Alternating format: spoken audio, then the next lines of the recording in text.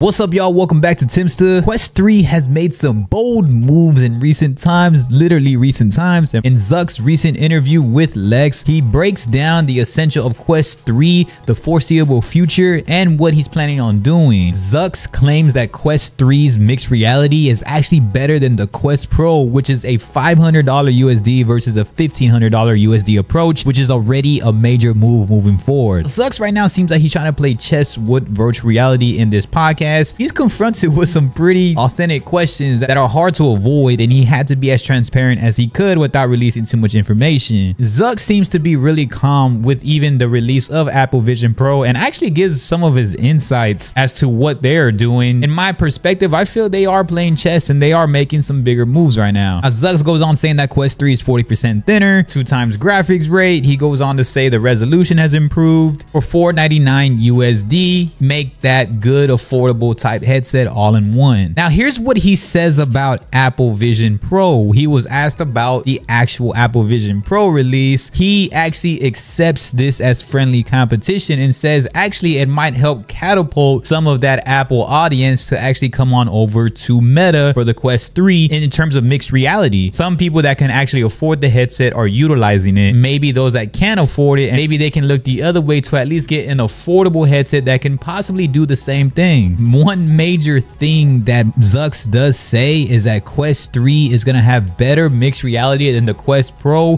which launched at $1,500 USD. That's a huge statement to make in terms of performance, a standalone, and at that cost. Another thing he does mention in this interview, which I really enjoyed, is Quest 3 is focusing and honing the social interactions, the gaming, and just entertainment. They made it very clear that they were, and they also said that emphasizing the fact that they're still going to bring control controllers because in terms of gaming, like people always want controllers, which is why they're giving a much more improved controller essential and actual hand tracking if you want to opt out of utilizing controllers. What Quest 3 is doing is giving multitudes of options and without being tethered at all. But Quest 3 has already had tons of experiments and they're slowly moving forward, although it is very slowly in terms of versus what Apple Vision Pro is doing, but they're doing it at the cost that is very much for the masses and Continues to say that, that he's trying to get it out there and attainable to everybody. At least a majority of people that are new to virtual reality or people that are already heavily induced into the VR culture, which is probably the best way to mainstream. He's actually inspired by the fact that they're both aiming for the same mixed reality approach. They're just in different dynamics and different fields. I feel that Quest 3 is going more the testing route still, while Apple Vision Pro just kind of went all in, which is not bad at all. Apple Vision Pro going all in with their software and hardware, uh, of course, they got to make it that type of price. While Quest 3 is kind of just slowly just rearranging and trying to slowly upgrade and make it affordable, reinvest, it just move with their flaws and improve on those flaws slowly to eventually get into a much more mainstream perspective and bringing like AAA game titles, much more within mixed reality, and then much more in terms of computing. Because of computing, Apple Vision Pro has already made it clear that it's a huge, you know, utilization within all of your iCloud and more. That none of them are going to really disappoint in their avenues. They have different avenues and they're different types of headsets. The only thing that Apple will ever have their hand on, at uh, their upper hand on right now is of course people that already trust Apple tech. They're gonna definitely try out this headset or those that can afford it at least. But if you're somebody like me who's utilized Quest and Quest 2, then you're